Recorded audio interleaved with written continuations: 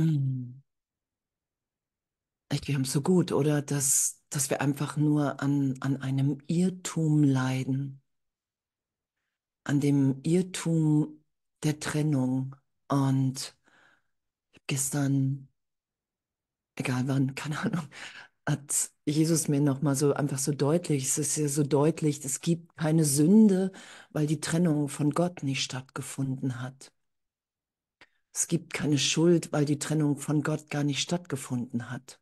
Darum ist es ein Irrtum. Und das geschehen zu lassen, das anzuerkennen, das ist ja jede Vergebung. Jede Vergebung lässt mich ja in einem Augenblick in der Gegenwart des, des Vaters mich wiederfinden. Oh wow, ich bin jetzt. Ich bin jetzt.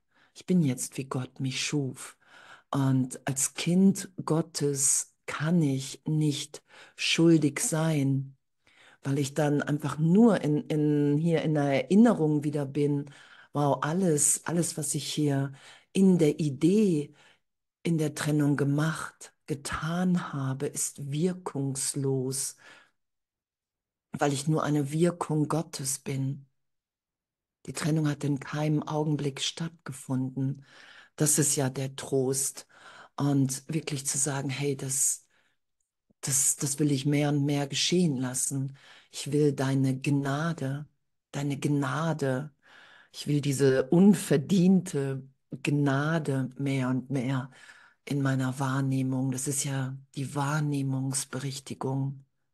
In keinem Augenblick. Keinen Wimpernschlag haben wir ohne den Vater getan. Und dass wir entweder alle schuldig oder alle unschuldig sind, das ist ja das, worauf Jesus uns im Kurs hinweist. Entweder sind alle hier im Irrtum, alle, die immer wieder nach einem Körper greifen, um sich die Trennung zu beweisen. Und augenblicklich, wirklich, in, wenn wir uns mit dem Ego identifizieren, wenn ich wirklich an die Trennung glaube, bin ich in einem Teil meines Geistes in Angst versetzt und verhalte mich wahnsinnig, um mir die Trennung zu beweisen. Wir verhalten uns ja wahnsinnig und es war ganz witzig. Ich habe so diese, diese verlorene Sohn-Geschichte, ähm, über die wird ja auch im Kurs gesprochen, kurz der verlorene Sohn. Und Jesus hatte mich bei YouTube zu so einem Video von einem Christen geführt und der hat so den, den anderen Sohn beschrieben, der zu Hause geblieben ist, oder? Und der dann sagt, hey, wieso kriegt denn der das Kalb geschlachtet und wieso kriegt denn der die Feier für seine Freunde? Ich hätte auch gerne eine Feier mal gehabt und, und, und an der Stelle hat für mich immer die Geschichte geendet, so. Und dann hat er gesagt, und der Vater sagt dann zu ihm, ich habe dir alles gegeben, du hast schon immer alles gehabt. Was er dann so beschrieben hat, du hättest jeden Tag eine Feier haben können. Ich habe dir alles gegeben. Ich habe dir alles und noch viel mehr gegeben. Und er sagt natürlich auch, warum freust du dich nicht für deinen Bruder? Und zeitgleich sagt er, ich habe dir alles gegeben. Und das ist die Frage, wann erheben wir Anspruch darauf? Das ist, was Jesus sagt. Du verlangst nicht zu viel, du verlangst viel zu wenig. Wir glauben ja immer noch irgendwo diese Idee äh, von, von, wenn ich mit Gott gehe oder mit Jesus, mit dem Heiligen Geist, Geist ist doch irgendwo ein Verzicht, oder? Und diese Geschichte und der Kurs sagt uns, das stimmt nicht. Das ist ja auch die Lektion heute. Alle Wunder, die sind, die hast du schon empfangen. Und nur durch unser Geben können wir wahrnehmen, in dem Teil des Geistes, in dem ich überhaupt zweifeln kann, dass uns schon alles gegeben ist. Darum sagt Jesus ja auch, hey, wenn du wirklich, ähm, wenn du wirklich nicht noch Millionen von Jahren den Irrtum weiterführen willst, bist du gerufen, dich schnell von Angst zu befreien und Wunder zu wirken. Und dass wirklich allen alles gegeben ist, dass wir mit nichts, mit keiner Gabe, mit nichts zurückhalten müssen, mit gar nichts. mit gar nichts und auch jetzt hier zu bitten, hey Jesus, Heiliger Geist, echt berühr mich tiefer als wie jemals zuvor. Ich will mich von dir hier belehren lassen, was das alles wirklich heißt. Dass uns allen alles gegeben ist. Der Vater uns jetzt liebt. Und im Kurs steht ja irgendwo, dass die einzige Freiheit, die es in dieser Welt gibt, die der Wahl ist.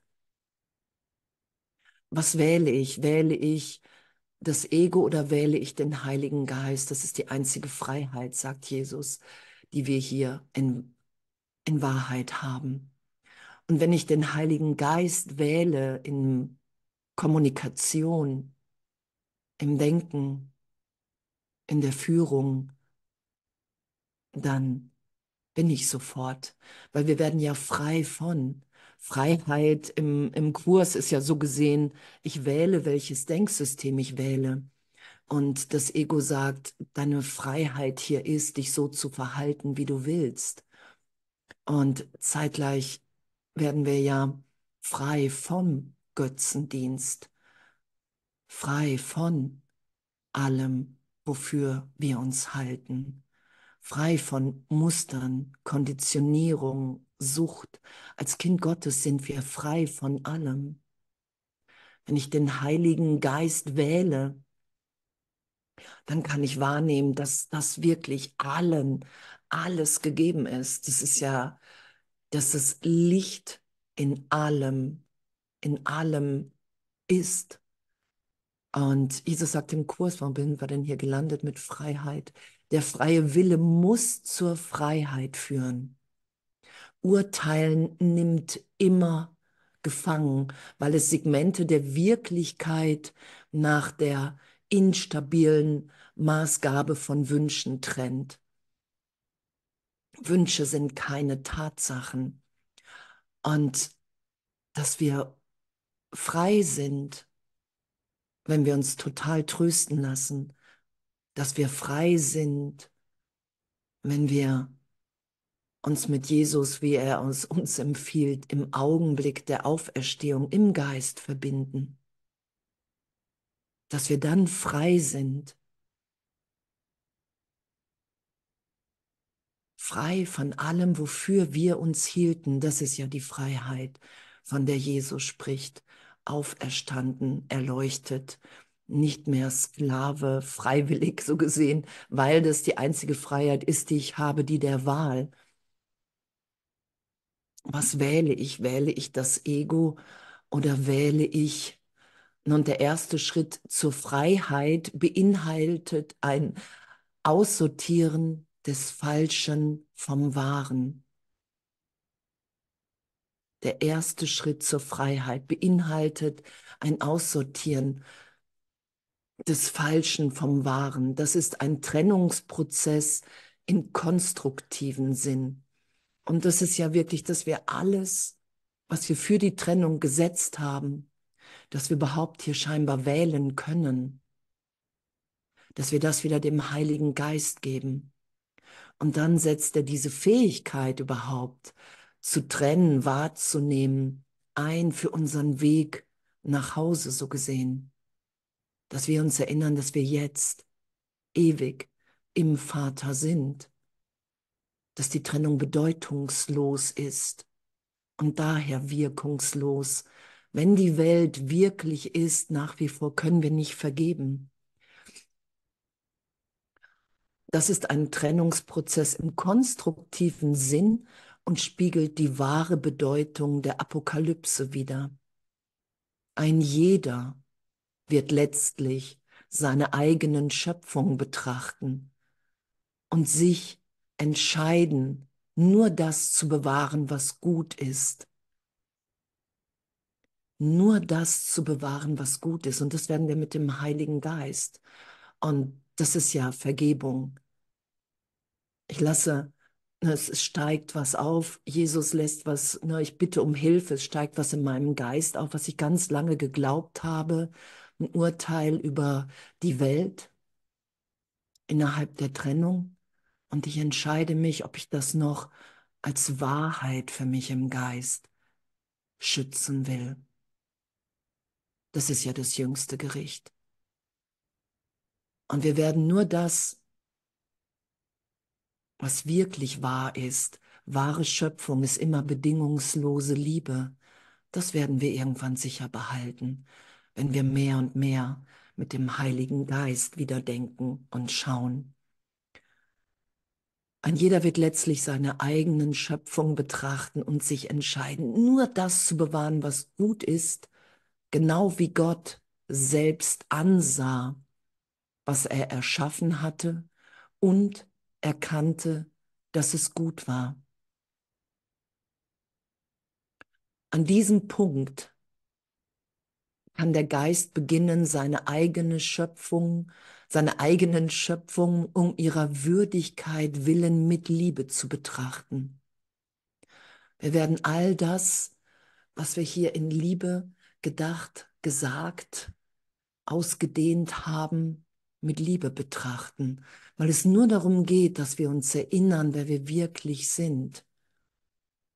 Dass es unser, unser wirkliches Selbst ist, was hier in Liebe ausdehnt. Gleichzeitig wird der Geist unvermeidlich seine Fehlschöpfung nicht als sein eigen anerkennen, die ohne Glauben nicht länger existieren werden. Gleichzeitig wird der Geist unvermeidlich seine Fehlschöpfung nicht als sein eigen anerkennen, die ohne Glauben nicht länger existieren. Und das, das ist der Schritt, dieses Aussortieren in, in Freiheit hinein. Und das ist das, was, was, was wir ja gerade immer mehr, immer, immer schneller und intensiver einfach in uns allen geschehen lassen. Wir lassen uns so total ehrlich in die Freiheit, in die Gegenwart des Vaters hineinführen, indem wir nichts verstecken, indem wir alles aufsteigen lassen und wirklich mit Jesus und dem Heiligen Geist betrachten und uns dann entscheiden, will ich das noch länger schöpfen, schützen, fehlschöpfen oder bin ich bereit, das wirklich erlöst, vergeben sein zu lassen, um im nächsten Augenblick wahrzunehmen, dass, dass die Stimme Gottes jetzt zu mir spricht. Das ist ja die Augenblicklichkeit der Erlösung. Und ich muss wahrnehmen, dass wir alle wirkungs, wirkungslos vom Zeitraum geschehen sind da lassen wir uns ja immer wieder hinführen in jeder Vergebung. Und das, das, das braucht so, so eine tiefe Ehrlichkeit. Oh, es passiert wirklich niemandem, jedem, irgendjemandem hier was.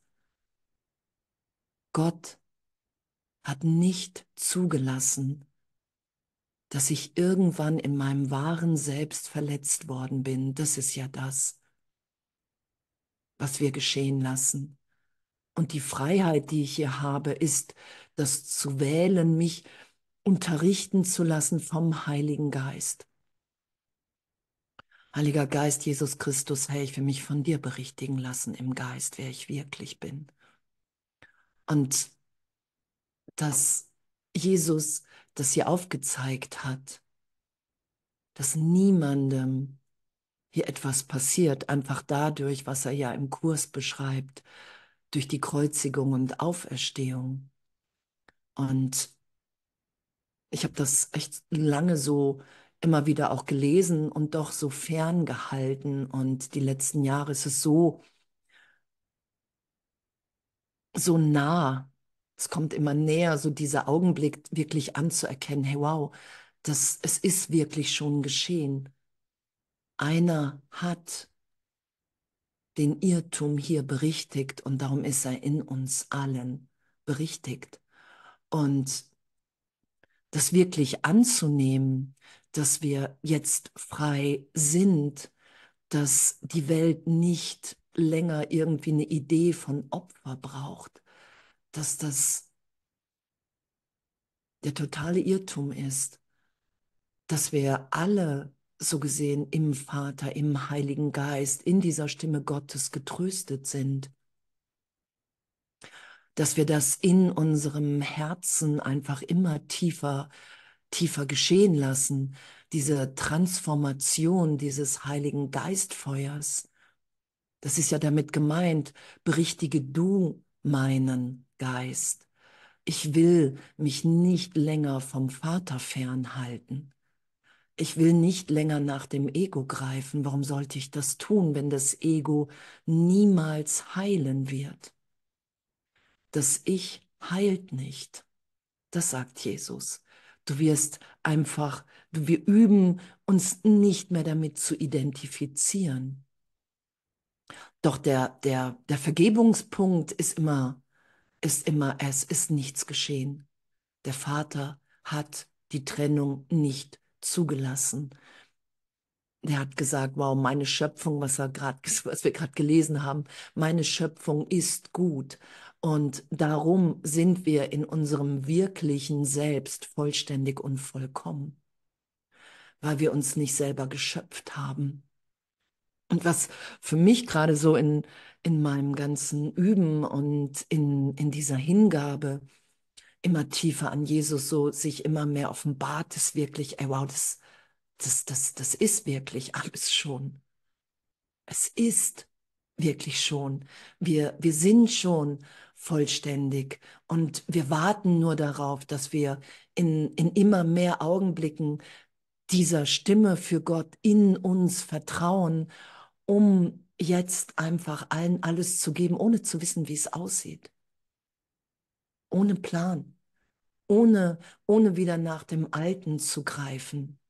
Und dieses, was Jesus sagt, hey, das braucht alles kein Urteil, sondern, sondern Mitgefühl, weil wir so eine Angst vor diesem Gegenwärtigen haben, vor dieser Gegenwart Gottes in uns. Und ich hatte mal vor Jahren eine, eine tiefe Erfahrung in Meditation und ich kam aus der Meditation raus und habe wirklich nur noch Licht gesehen. Ich habe erstmal gar keinen, gar keinen Körper mehr gesehen. Es war nur Licht. Und irgendwann kamen die Körper und alles war voller Licht. Und dann habe ich gemerkt, wow, ein Teil in meinem Geist wird unruhig. Und dann habe ich die Körper gesehen, aber ohne Geschichte. Und dann habe ich mir richtig Angst gemacht in dem Teil des Geistes, indem ich mich als Person identifiziere und habe gedacht, wow, ich weiß gar nicht, wen ich hier gut finde, wen nicht und mit wem ich hier nach Hause gehe gleich. Und in dem Augenblick kamen die ganzen Geschichten wieder. Und, und das ist ja unser Üben, dass wir uns das wirklich hier alles selber antun. Wir greifen nach dieser Identität in Zeitraum, weil wir Angst vor unserem wirklichen Selbst haben dass wir Gegenwart sind.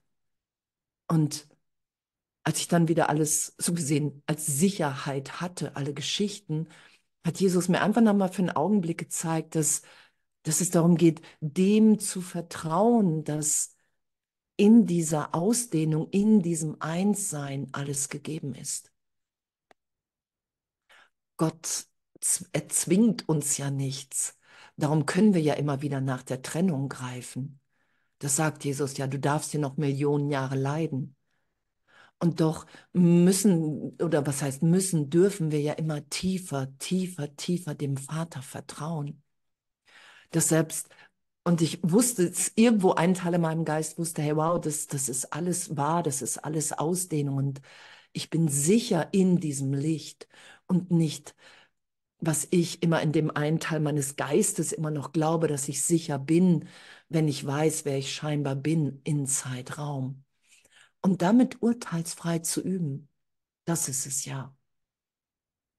Das, was Jesus im Kurs sagt, wenn jemand die Welt loslassen will, total ehrlich im Herzen, darum geht es ja. Total ehrlich im Herzen, dann ist die Welt losgelassen. Und damit zu üben und zu sagen, hey wow, ich habe scheinbar echt immer noch ein mangelndes Vertrauen, weil ich finde mich immer noch im Körper wieder. Ich halte immer noch diese Identität aufrecht. Und das ist einfach ein geistiges Spiel. weil in Wahrheit bin ich jetzt in der Liebe, im Licht. Und ich habe immer noch so eine Angst, alles hier loszulassen, weil sonst hätte ich es schon losgelassen. Und, und das ist ja die Vergebung. Und vor ein paar Jahren oder vor zwei, drei war ja mal bei ganz vielen, die gesagt haben, ja, ich will ja noch was hier und dann lasse ich ganz schnell die Welt los. Und Jesus, der sagt, hey, du hast dir so eine Angst, du hast dir so eine Angst vom Vater gemacht. Und er ist einfach nicht zu fürchten. Wir sind frei in Gott. Und das merken wir ja immer mehr, oder? Je tiefer wir vergeben, je häufiger wir im heiligen Augenblick sind, in diesem Licht, das ist ja das Allerschönste, immer mehr wirklich die gegenwärtige Unschuld im Bruder zu schauen. Und darum machen wir dieses langsam erweiternde Schulungsproblem. Problem, genau, Programmproblem, dass, dass wir immer wieder denken, hey wow, Gott gibt mir nicht alles. Das haben ja ganz viele die Idee, oder? Mir gibt Gott nicht alles. Und wahrzunehmen, mir ist schon alles gegeben. Ich greife immer wieder nach dieser Trennungsidentität. Ich greife danach, weil ich so eine Angst mir gemacht habe vor dem, was ich, was wir alle wirklich sind. Darum. Und damit urteilsfrei zu sein. Darum sagt Jesus ja auch, hey, ein glücklicher Schüler verurteilt sich nicht, weil es total faszinierend ist im Geist, das zu beobachten, was wir da machen. Ich, ich muss es ja, ne, darum sagt Jesus ja, hey, wir schauen uns hier, wenn du mir nachfolgst, sobald du den Heiligen Geist bittest, schauen wir uns nur noch an, was du nicht bist. Weil das, was du bist, dass diese Beziehung zum Vater, das ist ja mein wirkliches Selbst. Ich und der Vater sind eins. Und das offenbart sich ja in immer mehr Augenblicken. Wenn ich mich wirklich sein lasse, wenn ich vergebe, wenn ich den heiligen Augenblick übe. Das ist ja unser Üben, was wir immer mehr geschehen lassen, dass, dass eine, ein Selbst in uns wirkt, ein, eine geistige Offenheit, eine Kommunikation, in der wirklich jede Antwort gegeben ist. Ein, ein Selbst, ein, ein Verstand, eine, eine Vollständigkeit, wo alle Intelligenz der Welt nicht mitkommt. Das ist es ja, dass, dass wir wirklich in Gott in der Nachfolge mit Jesus, finde ich, mit Jesus Christus, wirklich so, so berührt, so belehrt sind, dass wirklich nichts zu fürchten ist. Darum sagt Jesus ja, du musst dich schnell von Angst befreien, damit du dich hier wirklich so sein lässt, wie der Vater dich schuf. Wir vertrauen nur noch darauf, was der Heilige Geist durch uns sagt, wirkt, weil das mein wirkliches Denken ist. Ich bin ja nicht der Name, ich, ich, das ist ja die Begrenzung. Und die einzige Freiheit, die wir hier scheinbar haben, ist die Freiheit der Wahl. Und was wähle ich? Mit wem will ich hier denken? Welcher Stimme will ich, will ich hier vertrauen? Darum geht es ja immer mehr. Und dass der Heilige Geist mich an meine Wirklichkeit erinnert. Ey, danke. Und dann sagt Jesus, Wunder stellen Freiheit von Angst dar. Wunder stellen Freiheit von Angst dar. Genau, in dieser Welt ist die einzig verbleibende Freiheit die Freiheit der Wahl. Immer zwischen zwei Wahlmöglichkeiten oder zwei Stimmen. Das ist die Freiheit für uns hier. Die Freiheit der Wahl. Welcher Stimme vertraue ich? Welcher Stimme folge ich? Welche Stimme will ich hören? Die Stimme für Gott, die mich erinnert, hey wow, du bist mein geliebtes Kind. Hüpf los. Dir ist alles gegeben wie die Lektion heute. Dir ist schon alles gegeben. das Schatzhaus ist voll und es fließt über, wenn wir bereit sind, uns zu geben. Ohne eigenen Plan. Das ist es ja. Das, was Jesus sagt im Kurs. Wenn, wenn Gott dir einen Plan gibt, sei dir sicher, er gibt dir auch die Mittel, dass der sich erfüllt. Er hat dir schon die Mittel gegeben. Darum müssen wir, selbst wenn wir einen Plan von Gott bekommen, uns überhaupt nicht um irgendwas kümmern, so gesehen, sondern sei dir sicher, er hat dir schon die Mittel gegeben.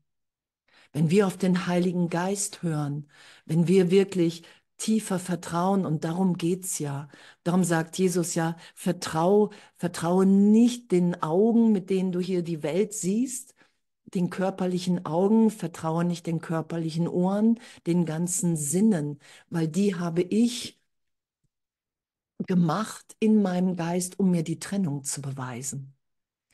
Was wir geschehen lassen, wenn wir mit dem Heiligen Geist schauen, wenn wir die Welt vergeben für einen Augenblick. Und das heißt, ich will nicht mehr recht haben mit der Form, mit der Bedeutung, die ich der Welt gegeben habe. Dann schauen wir immer mehr in unserem wirklichen Selbst und dann schauen wir, dass Gott uns in jeder Form entgegenkommt. Und da ich meinen Geisteszustand da draußen sehe, das ist ja nicht nur, oh, ich sehe meinen Geisteszustand im Ego, Hilfe. Ich sehe natürlich auch in der Schau meinen Geisteszustand. Darum sind Wunder dann natürlich. Darum nehme ich dann wahr, dass ich im Vater versorgt bin, weil die Trennung niemals stattgefunden hat. Das ist unser Aufzeigen. Das ist, ich bezeuge den Vater, dass allen alles gegeben ist, dass der Vater mich versorgt. Und wenn ich das in mir kennenlerne, schaue ich, dass, dass es in allen, bei allen geschieht. Das, das ist ja das, wo wir uns geistig immer tiefer und tiefer und tiefer hinführen lassen. Und ich, ich finde das, ich finde das echt so berührend, diese, diese ganze Schulung mit, mit dem Heiligen Geist, mit Jesus Christus. Und ich durfte Seminar geben und da bin ich selber dermaßen auseinandergenommen worden. So, und, und es liefen so die Tränen und, und es ist einfach wirklich so, dadurch, dass Jesus wirklich gesagt hat, hey, ich bin hier in Zeitraum gekommen, ich habe mir das wirklich als, als drastisches Zeichen für dich, damit du nicht dran vorbeischauen kannst. Gott lässt nicht zu, dass dir in deinem wirklichen Selbst hier irgendetwas geschieht. Vergebung ist der Schlüssel zur Auferstehung. Das heißt, ich Ne, das war ja Vater, vergib ihnen, denn sie wissen gar nicht, was sie tun. Das war ja voller Liebe gemeint. Das ist ja die Schau, wenn wir wahrnehmen, auch ne, wenn wir gerade mit diesen Fehlschöpfungen, die wir uns nochmal anschauen müssen, die Dinge, die wir hier aus Angst getan haben, wirklich zu schauen mit Jesus und dem Heiligen Geist, das ist ja Vergebung. Hey, wow, es war ein Fehler. Wir müssen ja unterscheiden zwischen Sünde und Fehler. Es war ein Fehler, natürlich einem Bruder hier weh zu tun, an die Trennung zu glauben, das zu schützen, zu verstecken, die Schuld nach außen zu projizieren. Darum geht's ja. Dass wir damit leicht werden. Ah, okay, das sind alles Fehlschöpfungen. Das war ein Fehler. Und anfangs habe ich mich ja echt und auch jetzt, ne, wenn Jesus sagt, hey, sag sorry, kann man echt sagen, hey, tut mir leid. Ist nicht das, was ich wirklich will. Das ist nicht das, was ich wirklich mit dir teilen will. Wir vergessen ja immer wieder, wer wir wirklich sind. Und darum sagt Jesus, du hast es vergessen, aber du hast es nie verloren. Niemals. Niemals und wahrzunehmen, dass wir nichts anderes machen, als wirklich zu üben, das Falsche vom Wahren erstmal zu unterscheiden, was wir gerade gelesen haben. Und dazu muss ich alles aufsteigen lassen. Ich muss bereit sein, irgendwann mich unterrichten zu lassen, dass schon, wenn der Trennungsgedanke oder wenn das Urteil aufsteigt, dass der Heilige Geist mich fragt, willst du diesen Gedanken weiterdenken? Willst du diesen Gedanken weiterdenken? Und, und selbst wenn ich merke, ja, ich will jetzt hier urteilen, ich fühle mich gerechtfertigt, verletzt oder, oder, damit wirklich zu schauen, was macht das? Darum sagt Jesus ja, wir müssen urteilsfrei üben. Was macht das in meinem Geist? Sofort bin ich klein, alle anderen auch. Sofort ist Schuld da. Sofort ist Verdrängen da. Das halte in mir, ich in mir nicht aus. Darum schiebe ich es nach draußen. Weil die ganze Welt gründet auf der Angst vom Vater. Und darum projiziere ich das alles nach draußen. Und das zurückzuholen, um wirklich immer wieder im heiligen Augenblick wahrzunehmen, ach, der Vater ist gar nicht zu fürchten. Darum ist die Welt bedeutungslos. Ach, der Vater ist gar nicht zu fürchten. Ach, in Wahrheit geschieht was ganz anderes. Ich wiederhole den einen Augenblick.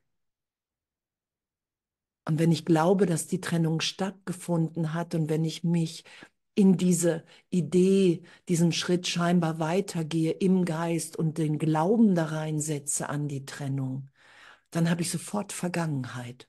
Für mich und für alle anderen auch. Und wenn ich mich berichtigt sein lasse und die Freiheit der Wahl, die einzige Freiheit scheinbar, die wir hier haben, wie Jesus beschreibt, die Freiheit der Wahl anwende und sage, hey, Vater, erinner du mich, wer ich bin. Das ist ja den Heiligen Geist bitten, die Stimme für Gott, von Gott, die in die Trennung mit hineingegeben wurde, in den Teil des Geistes, in dem ich träume, dass ich alleine bin. Da ist die Stimme mit reingegeben worden, weil jeder Schöpfer seine Schöpfung schützt. Und da zu fragen und sofort kann ich wahrnehmen, wow, wow, was will ich, was will ich jetzt hier gerade? Will ich weiter leiden, indem ich eine Illusion schütze? Oder bin ich bereit zu vergeben, mich erinnert sein zu lassen, wer ich wirklich bin und für einen Augenblick diese Liebe ausgedehnt sein zu lassen, die, die jetzt allen alles gibt. Darum geht's ja. Als Kind Gottes nehmen wir mehr und mehr wahr, dass wenn wir jetzt segnen, dass dieser Segen alles umfasst und einschließt und ausdehnt.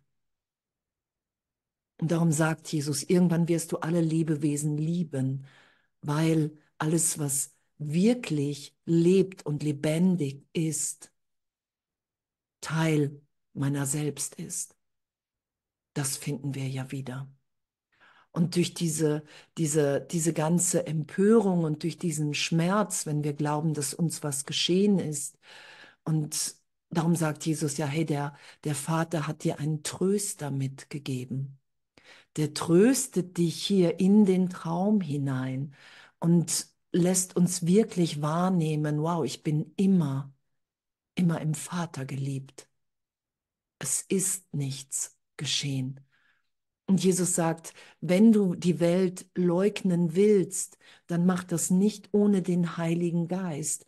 Dann leugne in diesem Trost. Und Trost ist immer, ich werde emporgehoben in meine Unverletzlichkeit, weil ich als Kind Gottes wirklich unverletzt bin. Und diese Freiheit der Wahl, das wähle ich jetzt. Ich bin frei zu wählen. Ich bin nicht Geisel des Egos. Ich wähle das. Ich kann in jedem Augenblick den Vater wählen, weil die Trennung gar nicht stattgefunden hat. Darum kann ich das wählen. Weil so gesehen, was Jesus sagt, du kannst, ne, du lernst zu unterscheiden, welches Denksystem du wirklich willst weil beide in sich schlüssig sind. Das Ego ist in sich schlüssig, mir tut was weh. Das geht gerade nicht. Und ne, Gott ist manchmal da, manchmal nicht. Das ist ja die Idee im Ego, wenn überhaupt. Hier ist eine Ebene, da kann ich wirklich sterben und leiden. Und wir können den Heiligen Geist wählen. Wir können Jesus Christus wählen. Und dann können wir wahrnehmen, wow, hier passiert wirklich was ganz anderes. Wunder sind natürlich. Ich bin jetzt im Vater berührt, wie alle anderen auch. Und darum wollen wir diese Liebe immer mehr ausdehnen, weil wir wirklich wahrnehmen, wenn ich es in mir geschehen lasse, kann ich es auch im Bruder wahrnehmen. Wenn ich für mich die Sühne annehme, habe ich sie auch für meine Brüder angenommen. Und dann nehmen wir immer in immer mehr Augenblicken wahr. Das ist es ja. Wir dehnen ja diesen Augenblick von Heiligkeit mehr und mehr aus. Wir wollen immer mehr Augenblicke wirklich vergeben sein lassen. Und darum ist Vergebung ja nicht, darum sagt Jesus ja, irgendwann ist die Vergebung vollständig. Das heißt, ich bin im vergebenden Geist und ich weiß, sobald ein Urteil aufsteigt, versuche ich gerade wieder nach der, nach der Identität zu greifen oder ich greife danach. Ich bin versucht, da die Sicherheit zu finden, weil ich Angst vom Vater habe. Und dann den Heiligen Geist zu bitten, Jesus Christus zu bitten, der aufgezeigt hat, hier in Zeitraum. Der Vater ist nicht zu fürchten, genauso wenig wie die Illusion der Trennung. Es gibt gar nichts zu fürchten, das hat er ja aufgezeigt.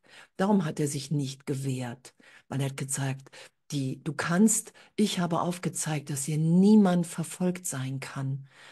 Die Illusion ist nicht zu fürchten und der Vater ist nicht zu fürchten, weil da nur Liebe ist.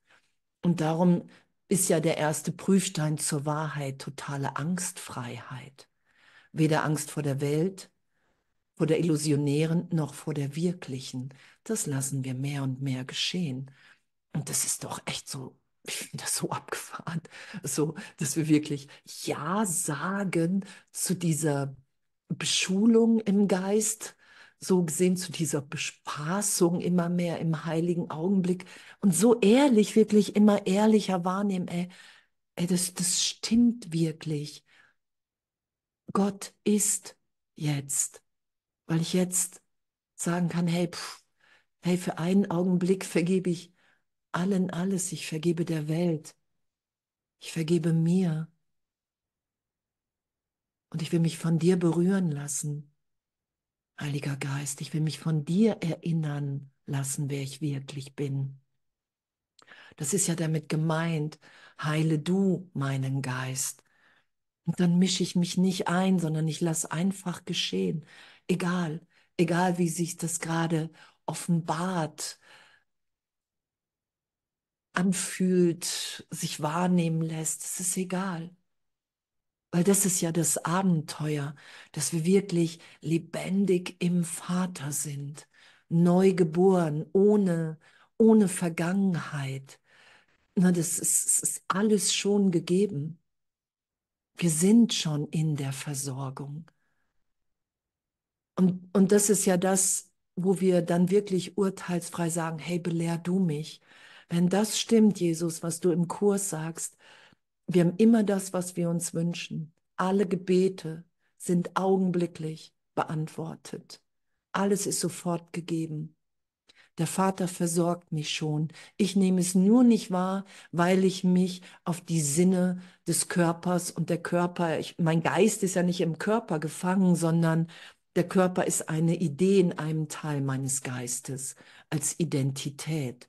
Und wenn ich da wieder loslasse, und das ist Vergebung, wenn ich da loslasse, kann ich wahrnehmen, dass Gott in mir, in dir, in uns allen wirkt.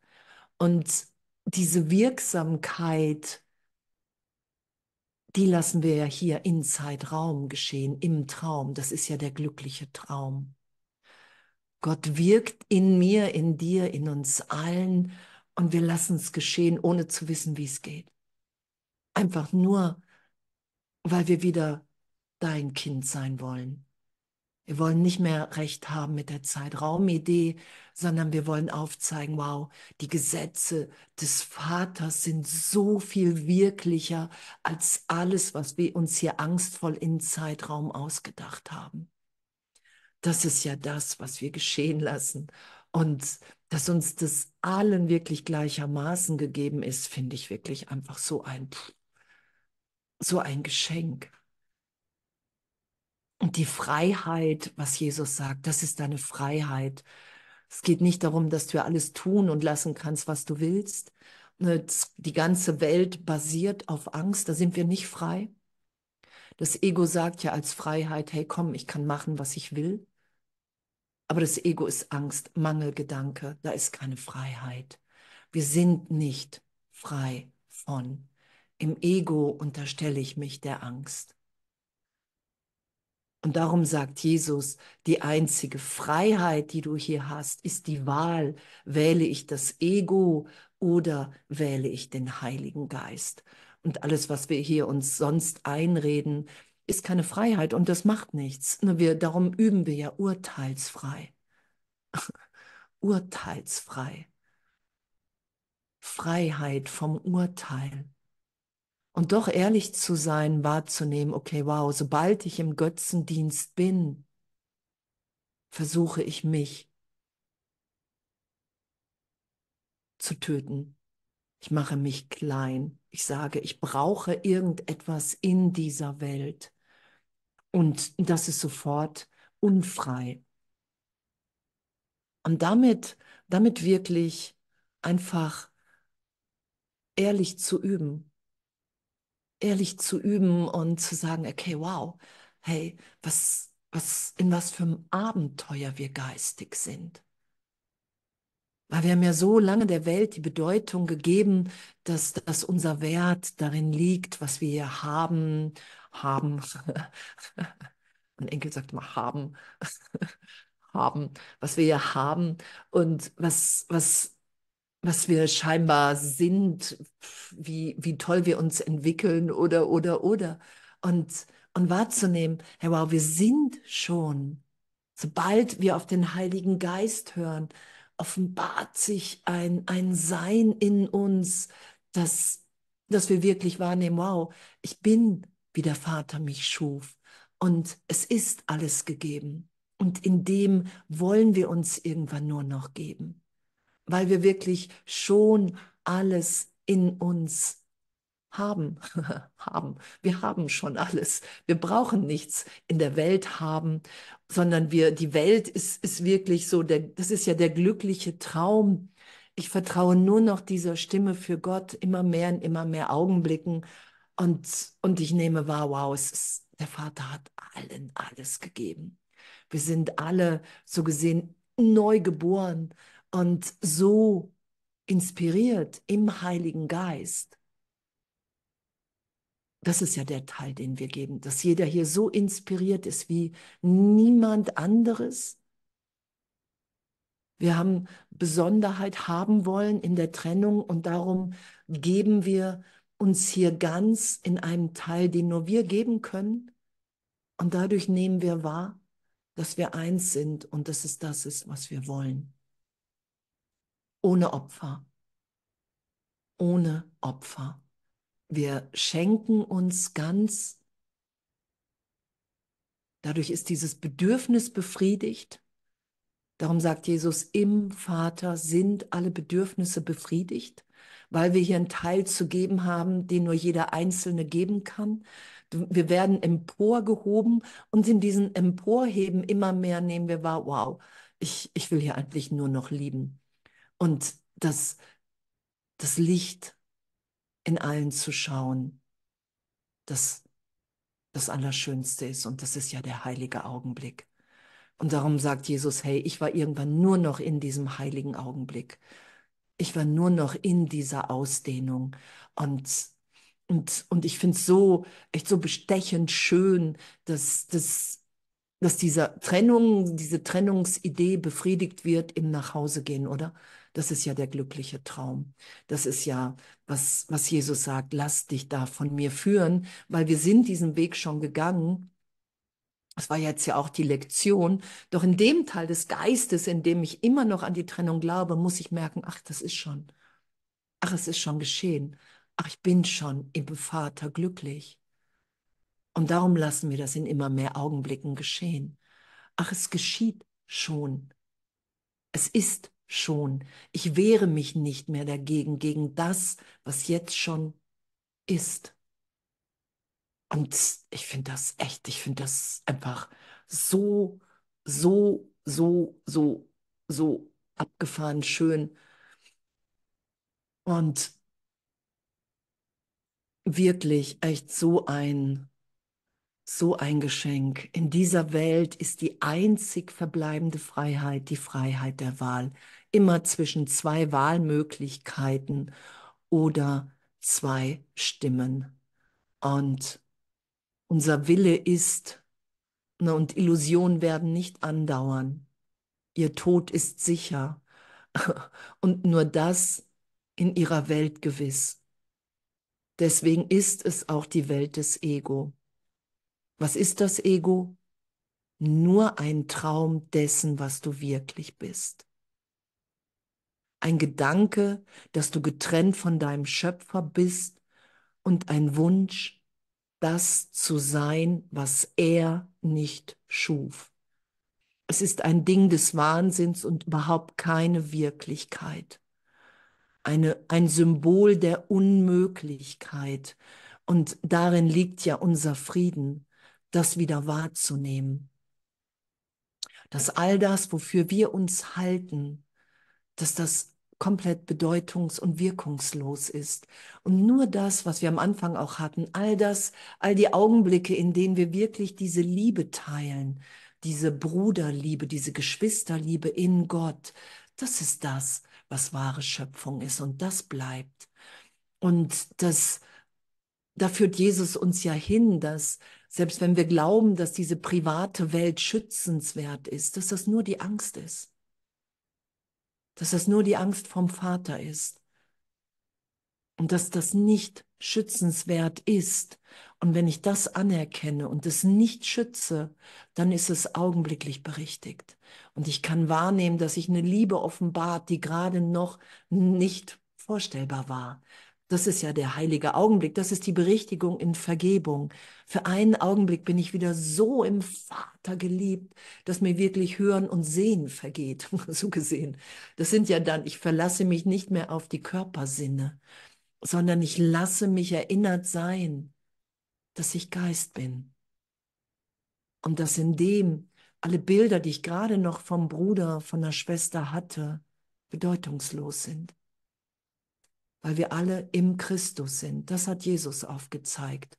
Auferstanden bist du das Kind Gottes. Ohne Körper, mit verklärtem Körper, bist du erinnert, dass du Geist bist, dass dir alles gegeben ist, dass du alle liebst. Und dass darin wirklich echt einfach die Feier liegt, die, die, die Erlösung für alle, dass, dass wir in Wahrheit nichts anderes wollen. Das finde ich einfach so berührend, dass es wirklich so ist, dass wir uns daran erinnern, dass es nichts gibt, was so wundervoll ist wie der heilige Augenblick. Aber ich bin echt im Irrtum gewesen über uns alle.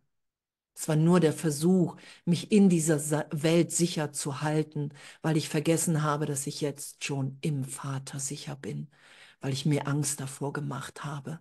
Und ich finde es wirklich so berührend, dass wir gerade alle diese Angst verlieren, mehr und mehr, weil wir einfach mehr vergeben. Darum sagt Jesus ja auch, Vergebung ist die einzige, das einzige hier, was keine weiteren Illusionen macht, sondern immer wieder auflöst. Wenn ich die Berichtigung geschehen lasse, löst es immer wieder auf. Ach, wow, ja klar, ich bin ja dein Kind. Und in dem ist mir alles gegeben. Das ist ja sofort die Wahrnehmung. Und dann braucht mir im Außen keiner mehr was zu geben. Es muss niemand anders sein, weil ich das Bild von den anderen runtergenommen habe und schaue, wow, jetzt sind wir. Jetzt sind wir.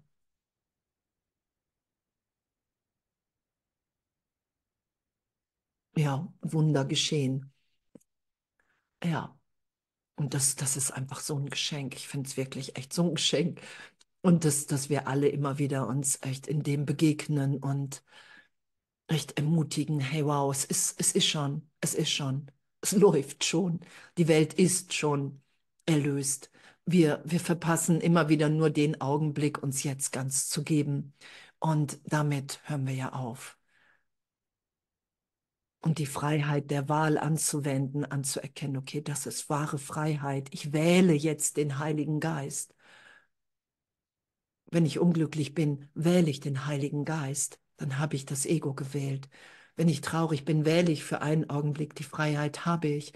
Danke, Jesus, dass du uns hier an die Freiheit erinnerst, dass ich augenblicklich den Heiligen Geist wählen kann.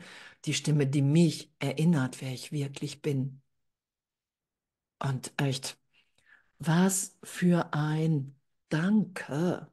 Was für ein riesen, riesen, riesengroßes Danke. Und das ist das, was wir sind. Jetzt ewig. Und wir erinnern uns alle und ich finde es echt gut. Ich finde es echt so gut. Ich finde es so legendär. Ich finde es so, so echt einen wirklichen Flash, dass wir uns echt alle erinnern und sagen, yay, das will ich mehr und mehr. Ich will hier aufzeigen, dass wir im Vater sind in Gott, weil darin einfach Wahrheit, Wirklichkeit, Liebe, Ausdehnung, Herzöffnung, immer mehr Angstfreiheit wahrnehmbar ist. Danke, ich liebe euch, uns.